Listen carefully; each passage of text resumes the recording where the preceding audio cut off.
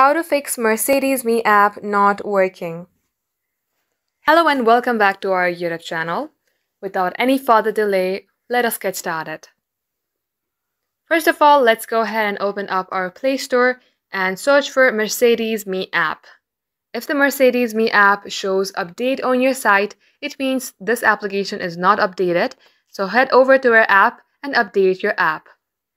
Once you have done that, tap onto your settings then scroll below onto apps and search for Mercedes Me. For instance, if this is your Mercedes Me app, scroll below and tap onto storage and clear the data and also clear the cache. Also be noted that before clearing the data, you have to note down all your username, your password, and once you have done that, come back onto your Mercedes Me app info page and tap on Force Stop. Once you've done all that, this shall fix your problem. If it's still not working, then reinstall it again after uninstalling that app. Thanks for watching the video till the very end. We will catch you up in our next upload.